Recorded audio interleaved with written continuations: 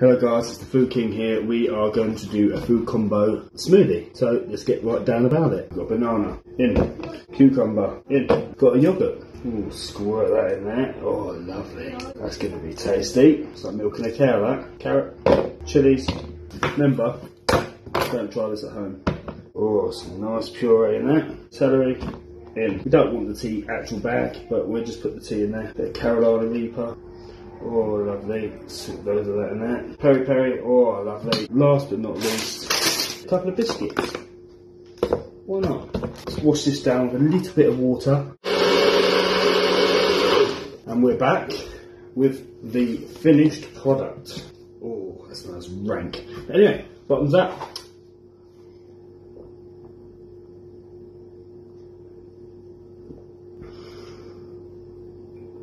Mm-mm. Not bad, it's just a bit weird.